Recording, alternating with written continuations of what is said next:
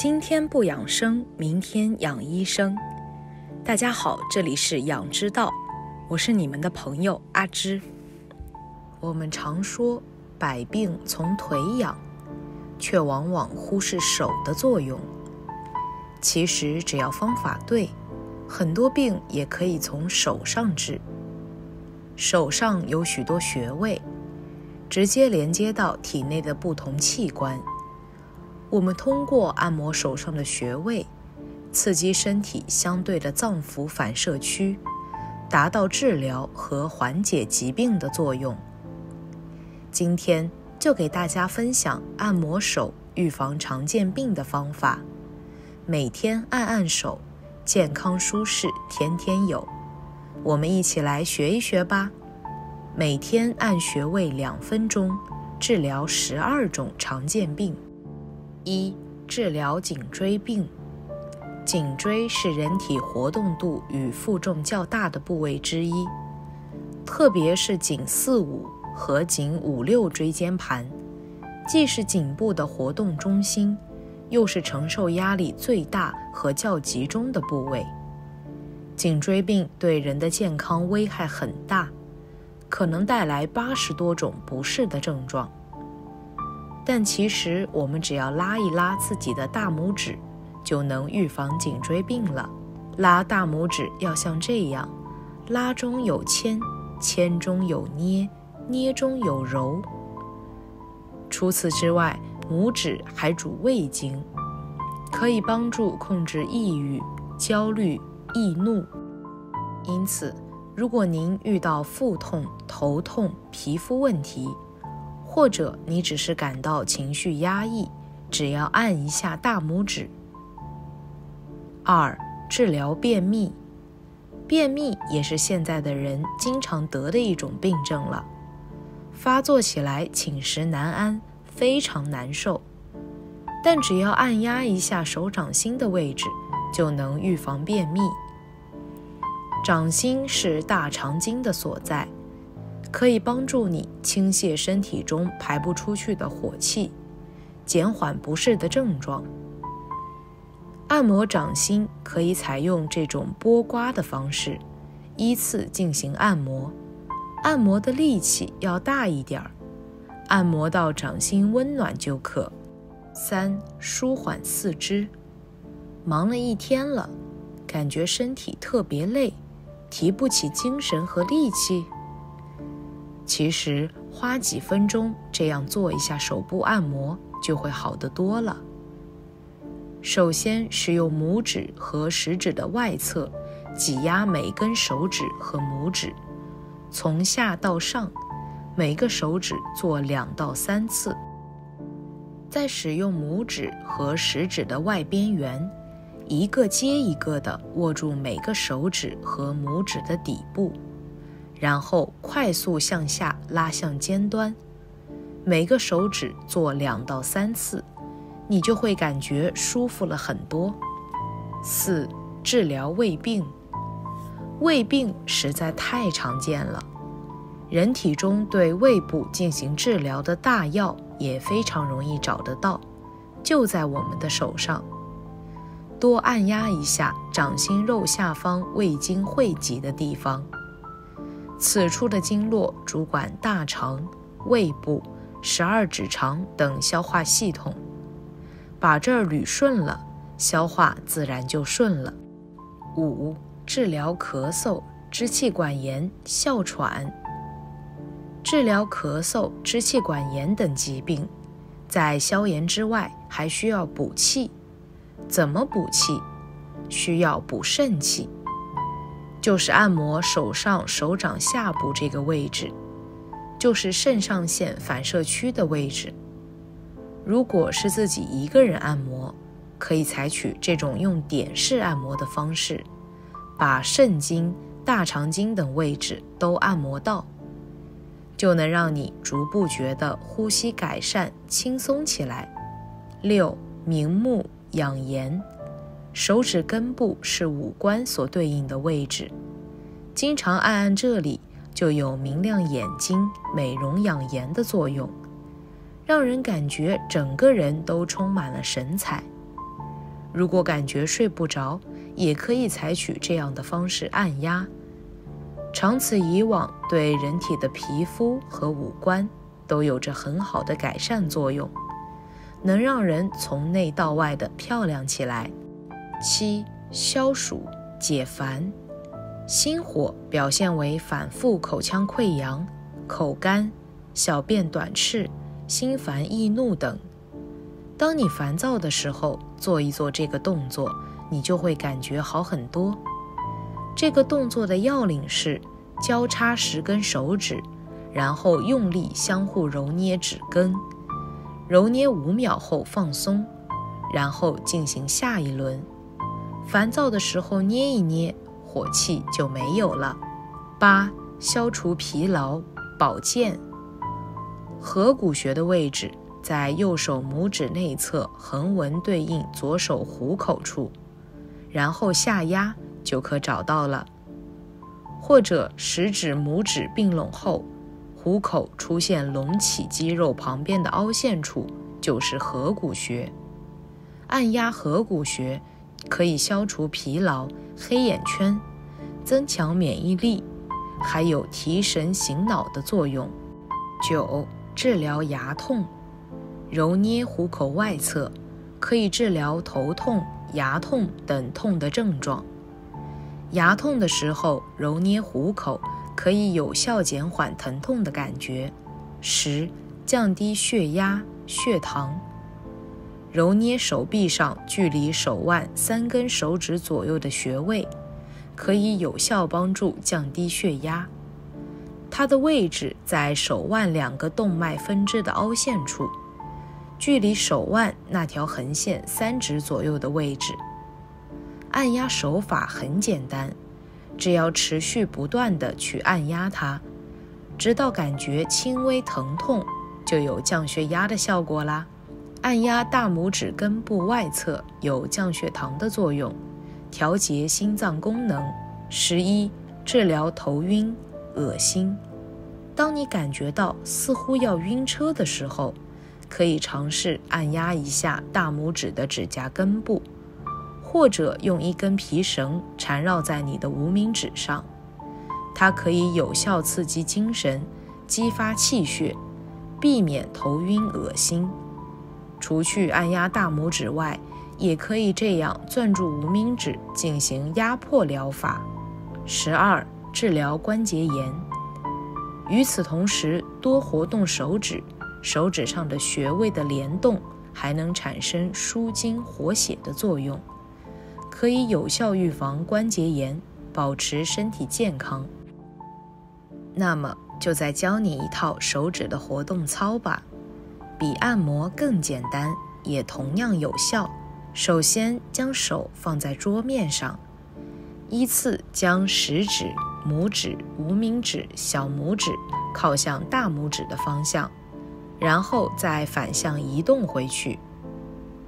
接着抬起手，将手的食指、中指、无名指、小拇指与大拇指依次完成一个 O 型。重复两到三遍，将手指弯成一个 C 形，重复十到十五次，然后握拳，也重复十到十五次。四指平屈，重复十到十五次。花几分钟按摩一下，好处多多，疾病没有。这些技巧你都掌握了吗？手掌虽小，穴位很好。人体十二条经络里，你会发现有六条的名字都带有一个“手”字，手三阳经、手三阴经。当你稍有不适，就可通过手掌穴位来进行调整。方法也很简单，每天花上十分钟按摩一下手掌，调养身心，让它成为身体交通的调度师吧。一外劳宫穴。爱管闲事的五脏保健穴，轻松取穴。外劳宫穴位于手背上，在食指与中指指骨之间，在两根指头之间往手腕方向摸，大约一指宽的距离就是外劳宫穴，按起来压疼感很明显。作用，说它爱管闲事一点都不亏，对于我们的心、肝、脾、肺、肾，它都能给予帮助。如果你是一个爱偷懒的人，可不要错过外劳宫穴。外劳宫穴还能帮助我们去除体内的寒气。对于四肢不温、手脚易凉的朋友，可以长按劳宫穴，能增发体内的阳气。操作方法：用大拇指按揉或者拇指指尖按压均可，一次五到十分钟。也可以采取艾灸的方法进行。二合谷穴，面口合谷收，轻松取穴，将拇指和食指并齐合拢，会出现凸起的一块肌肉，在肌肉的最高点就是合谷。作用：合谷穴是古人非常重视的穴位。就是四总学歌里说的面口合谷收，它的作用主要是消除头部疼痛，比如常见的牙疼、牙龈炎、头疼、口腔溃疡、头晕、鼻子过敏、黑眼圈等。只要是头上有地方疼了，就找它。操作方法：用以指代针方法。大拇指按压即可，一次五到十分钟，也可以采取艾灸的方法。三少冲穴，中医急救大穴，轻松取穴。少冲穴位于小拇指甲下缘，靠近无名指一侧，离指甲一毫米。作用，我们都知道大名鼎鼎的人中穴吧。少冲穴和人中穴一样，是中医上的人体急救穴。对于忽然发生的身体不适，自己可以按压一下少冲穴，先稳住身体。尤其是容易头晕、头疼、打坐的朋友，效果很好。平时少冲穴还是一张健康晴雨表，比如心脏不适、肠胃吸收不好的朋友。可以看看少冲穴这个地方，会出现变紫变硬的现象。操作方法：用拇指指尖按压，一次三分钟。四中冲穴，防治中风还养心。轻松取穴，中冲穴位于中指指尖正中间，在中指指甲下面就是。作用。目前，心脑血管问题成了危害现代人健康的大问题。因为血管堵塞而形成的神经受损，大大降低了人们的生活质量。所以，学会预防心脑血管疾病，多了解这方面的养生方法是很有益处的。中冲穴位于心包经的转折点，可以帮助我们疏通气血流通。对于心绞痛、胸闷、心慌等心脏病症，有着很好的减缓作用，还能帮助我们调节心率。夏季和冬季是中风的高发期，尤其是三高朋友，更要重视这个问题。平时要多按压中冲穴。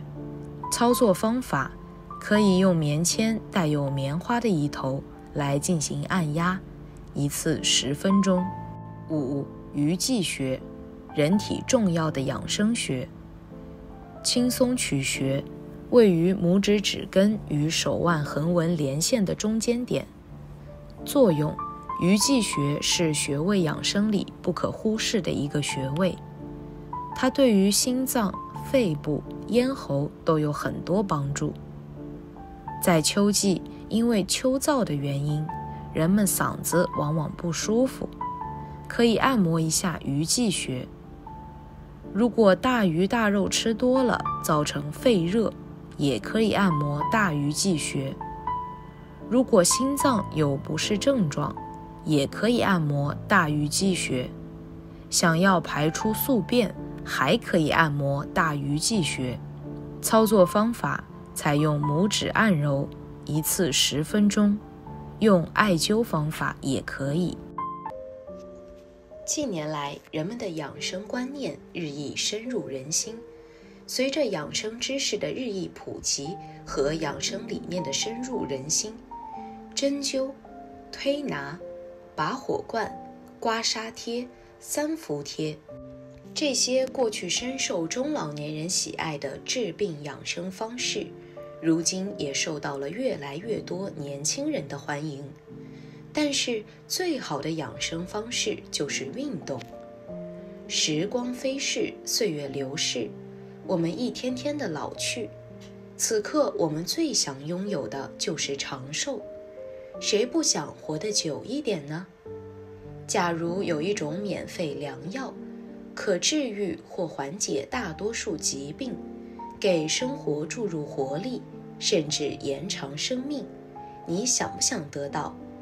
那就是运动。对，没有听错，运动有利于长寿。美国癌症中心根据一百四十四万人的大数据分析得出，运动能明显降低十三种癌症的发病率，降幅在百分之十到百分之四十二之间。近日，美国医学日报网站又总结出了四项广受欢迎又有助延寿的运动：快走、跑步。游泳和打羽毛球。一、快走，强心肺，增加下肢力量。快走被医学之父希波克拉底称为人类最好的医药。美国一项研究表明，走路的速度可以预测人的寿命。普通人走路速度是零点九米每秒，当走路速度大于一米每秒时。寿命会更长，走路速度小于零点六米每秒时，死亡风险会增加。法国圣埃蒂安大学附属医院一项新研究发现，老年人每天坚持快走十五分钟，就能使早亡风险降低百分之二十二。快走是比较温和的一种有氧运动，可促进血液循环。增强代谢能力，提高胰岛素敏感性，有利于调控血糖、血脂、血压，防治冠心病、心绞痛等。此外，美国一项研究发现，经常快走的人患中风的可能性比常人低百分之四十。快走还能锻炼下肢力量，强筋健骨，预防骨质疏松。改善呼吸循环，预防肺部疾患，增强胃肠蠕动，促进消化液分泌，防止便秘，增进神经系统的快速反应和协调功能。对中老年人而言，快走是最合适的锻炼方式之一，也是慢性病运动治疗和康复的很好选择。具体方法。快走时，抬头挺胸，甩开手臂，步幅以身高的百分之四十五到百分之五十为佳。比如，身高一百七十厘米的人，步幅为七十六点五到八十五厘米。为预防运动损伤，快走前先慢走五到十分钟，结束后进行简单的拉伸。快走的速度和运动量因人而异，多数人推荐每天走六千步左右即可，大概三十到四十分钟。减肥人群至少要走到一点二万步才有效，不建议动辄暴走两三万步，可能会造成运动损伤。二，跑步，不论长短快慢，都能减少早亡。十一月发表在英国运动医学杂志上的一项荟萃研究，对十四项相关研究涉及二十三万人、三十五年的数据分析发现，不论跑程长短、速度快慢，都能降低早亡风险。跑步可使全因死亡、心血管病死亡和癌症死亡风险分别降低百分之二十七、百分之三十和百分之二十三。二零一七年心血管疾病研究进展上一项研究指出，长期坚持跑步的人要比没有跑步习惯的人多活约三年时间。每跑步一小时，可转化为一个人生命的额外七小时。瑞典、美国和英国的科学家还发现，跑步能帮助人们缓解焦虑，提高认知能力和记忆力。跑步与快走最明显的区别，就是跑步时有两脚同时离地腾空的瞬间。而整个快走的过程中，走得再快，也必须有一只脚接触地面。因此，在脚落地的时候，快走脚步所承受的冲击力要比跑步时小，且跑步过程中容易脚踩地不稳，发生摔倒、损伤等意外事故。不过，跑步有其独特优势，它的运动强度更大。更有利于促进血液循环和提高心肺功能，还能增强免疫力。经常跑步锻炼的人，体质水平总体都较好。对年轻或体力较好的人群而言，跑步是非常有效的运动方式之一，但要量力而行，一天跑三到五公里即可。不建议跟风以跑马拉松为目标。运动习惯没有达到三到六个月以上的人及有严重慢性病的人，不建议跑步。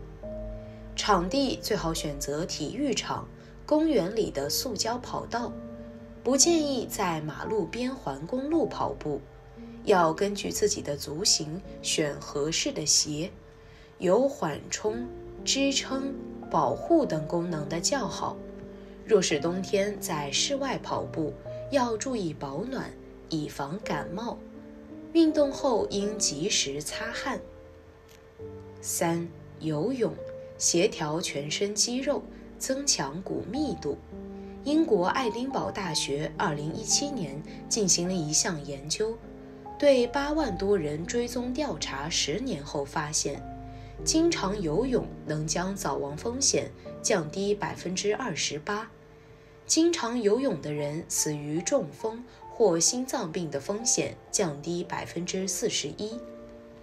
美国科学家对四万多名男性进行三十二年的跟踪研究也显示，有游泳习惯的男性在死亡率方面比不常运动的男性低近一半。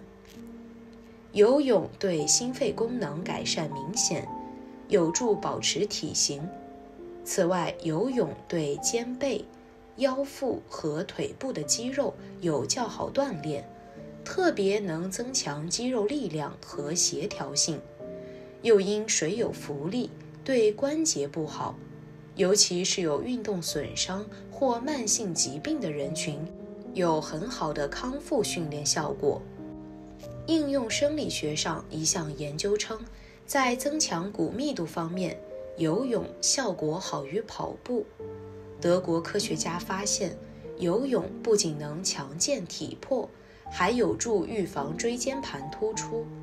只要不出现溺水，游泳比其他运动出现受伤的概率更小。初学者一般掌握蛙泳、仰泳。自由泳就可达到健身效果。自由泳运动强度大些，蝶泳对腰腹力量和协调性要求很高，技术难度最大。游泳适合各个年龄段人群，建议每周游泳二到三次，每次一小时左右为宜。但要注意，患有心脏病、严重高血压。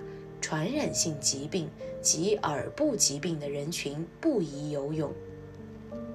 四、羽毛球既护心又协调全身。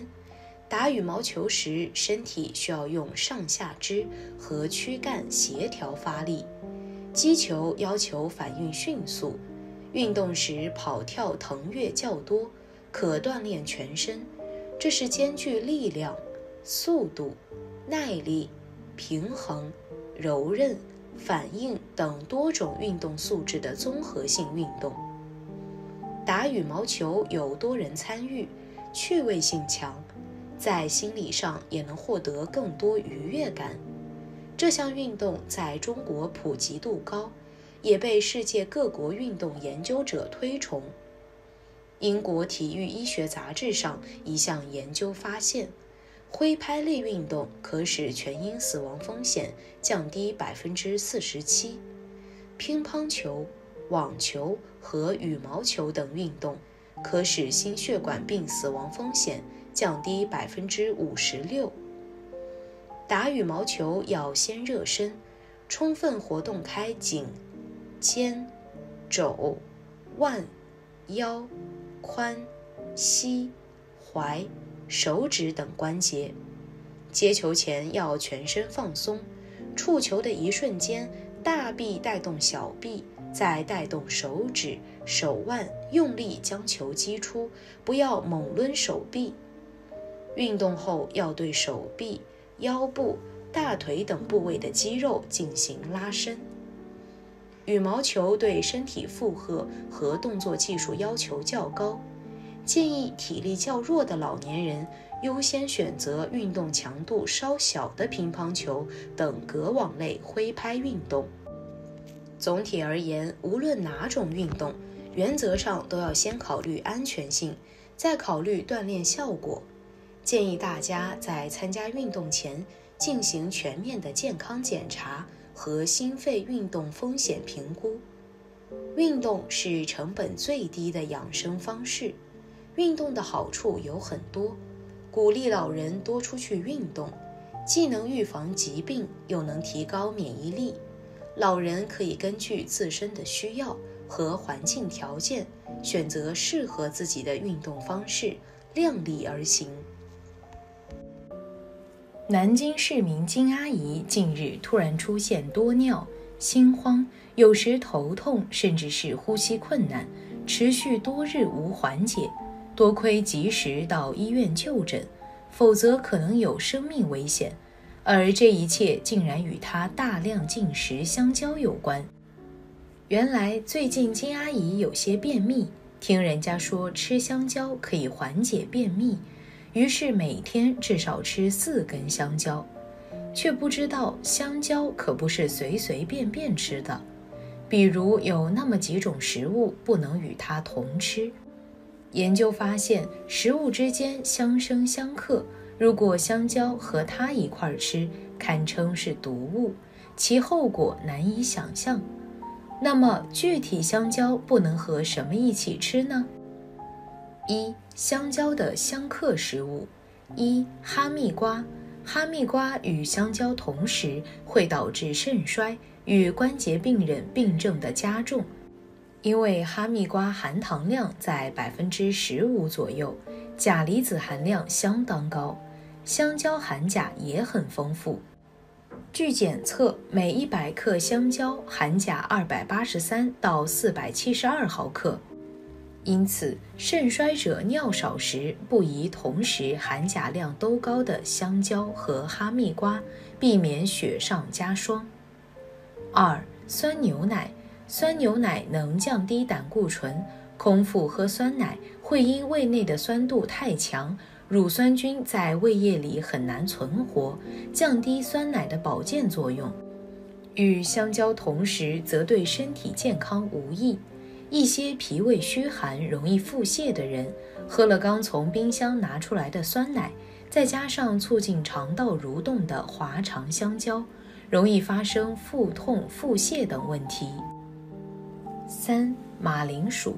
马铃薯是我们餐桌上经常出现的食物。香蕉又是我们经常吃的水果，或许很多人都不知道，它们一起食用产生副作用。如果两样食物一起食用，或食用的时间没有相隔十五分钟的话，两者所含有的元素会发生化学作用，并产生一定的毒素。这些毒素会导致人们长斑。四、芋头，芋头中富含蛋白质、钙、磷、铁、钾、镁、钠、胡萝卜素、烟酸、维生素 C、B 族维生素、皂角带等多种成分。所含的矿物质中氟的含量较高，具有洁齿防龋、保护牙齿的作用。芋头营养价值高，但忌与香蕉同食，同时会引起腹胀、食物中毒。五、甘薯，甘薯是一种药食兼用的健康食品，含有膳食纤维、胡萝卜素、维生素 A、B、C、E 以及钾。铁、铜、硒、钙等十余种微量元素，营养价值很高，被营养学家们称为营养最均衡的保健食品。香蕉、甘薯同时会发生不良生化反应，引起身体不适。红薯和香蕉吃后容易胀肚子，而且还伴有胃反酸现象。吃多了会造成食品长时间停留在胃里，产生胃堵。如果香蕉和红薯一起吃，会慢性肠胃不适。六、阿司匹林，阿司匹林与含糖多的食品，如椰子、甜石榴、桃、葡萄、香蕉等同食，容易形成复合体，从而减少初期药物的吸收速率。七、牛肉。都说冬季要进补，要知道牛肉不仅味道鲜美，更富含大量营养，实为冬季滋补的不二食材。牛肉蛋白质含量高，而脂肪含量低，所以味道鲜美，受人喜爱，享有“肉中骄子”的美称。但吃了牛肉就不要吃香蕉，会胃绞痛。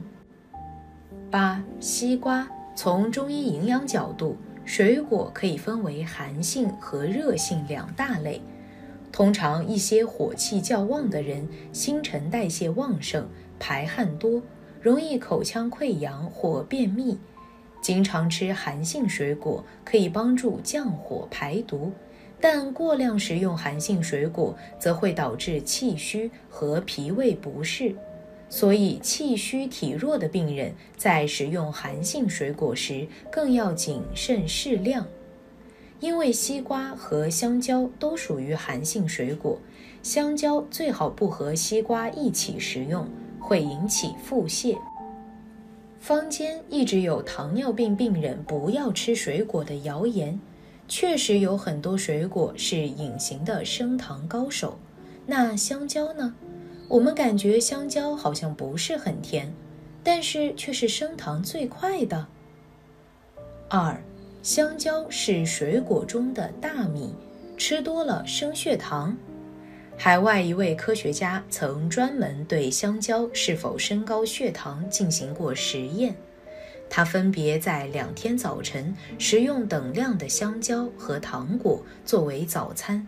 并在餐前、餐后三十分钟以及餐后六十分钟进行了血糖测量，结果发现，食用香蕉和糖果三十分钟和六十分钟后的血糖，相较于糖果，吃香蕉的人餐后血糖升得更快、更高。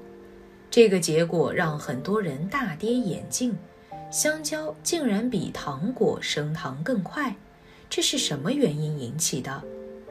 这是因为香蕉属于高热量水果，一百克香蕉内含有约九十一大卡热量，二十八克碳水化合物以及少量的脂肪、蛋白质。对于糖尿病患者而言，食用香蕉非常容易导致血糖和胰岛素飙升，所以一般不建议糖尿病患者吃香蕉。三。香蕉是便秘终结者。关于香蕉的传言有非常多，其中最为深入人心的，不外乎是香蕉可缓解便秘。不少人在生活中一旦便秘，就会选择吃香蕉来缓解。然而，香蕉真的能通便吗？食物是否能缓解便秘？其实主要是取决于其内里含有的膳食纤维量。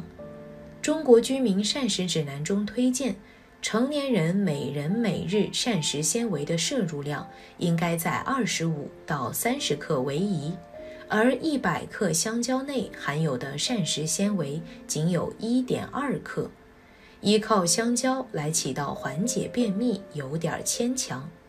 换言之，想要通过吃香蕉来缓解便秘，或许效果不佳。再加上生活中很多时候购买到的香蕉没有完全熟透，这类香蕉内会含有大量的鞣酸成分。鞣酸进入体内后会和蛋白质相结合，形成一些块状的、身体难以吸收的鞣酸蛋白，继而会让便秘的症状持续加重。所以，想要缓解便秘，吃香蕉并不是一个最佳的选择。对于便秘的患者，可以选择一些膳食纤维高的蔬果，例如火龙果、猕猴桃、菠菜等等。四，问题来了，香蕉究竟还吃不吃？既然香蕉含糖量高，又不能缓解便秘，这是否说明香蕉是个垃圾水果？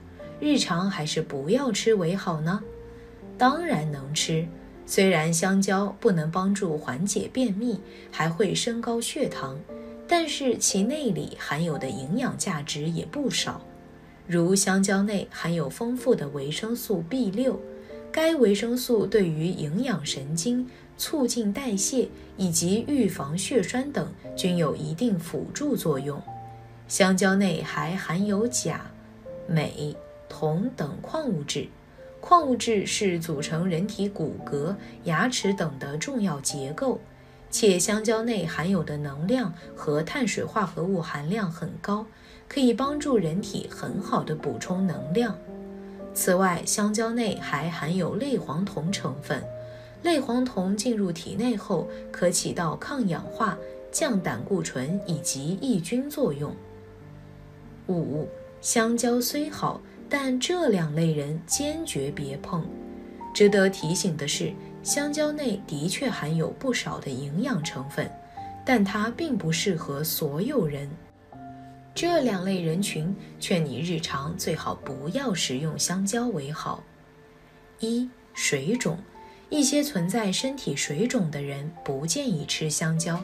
因为香蕉内含有的钾元素进入体内后，会导致血钾水平升高，容易让水肿人群的症状持续加重，同时会一定程度增加心脏和肾脏的负担，对于患者的病情康复较为不利。二、关节炎和关节疼痛，食用香蕉后可让局部的血液循环变慢。让体内的一些代谢产物滞留，且香蕉内含有的糖分较高，对于一些关节炎、关节肿痛的人群来说，不是个很好的食物。食用后容易导致病情加重。香蕉是市场上十分常见的水果之一，它不仅味道美味，而且还提供给人体多种营养和丰富的维生素。可以说，香蕉是十分好的水果佳品。不可否认的是，香蕉营养价值十分高，有很多的食疗效果。但吃香蕉也有禁忌，胡乱搭配，小心吃出毛病。不过，相信大家对于香蕉已有了进一步的了解，日常可以按需选择，看看自己是否适合食用香蕉。如若是上述的两类特殊人群，则建议你最好别吃。好了，以上就是今天的全部内容。如果你也喜欢这个视频，并且让你深有感触，可以分享给身边的人哦。那我们下期节目再见。